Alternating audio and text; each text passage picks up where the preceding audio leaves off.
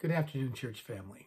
It's Tuesday afternoon, and I just want to remind you that tomorrow evening, Wednesday at 6 p.m., there will be a board meeting to which every member and those who attend our church are invited.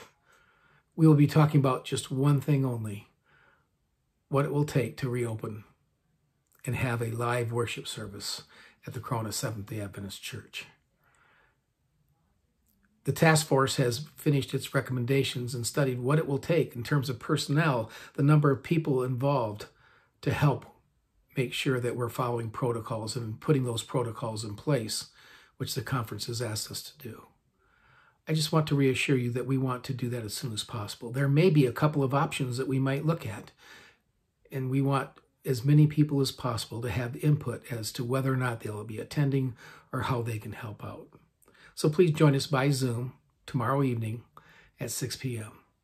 When that meeting is over, and I'm planning that it shouldn't last longer than an hour, there will be a time of prayer in which we can be praying for our country, our church, and our world at this time. I do have some good news to share with you at that time about how we're reaching out to, to help others know about Jesus more fully.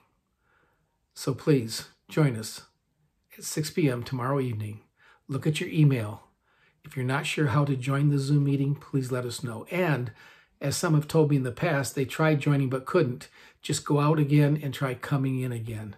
That might work. May God bless each one of us as we seek to follow Him and walk through our life, walk in this life with Jesus as our constant companion.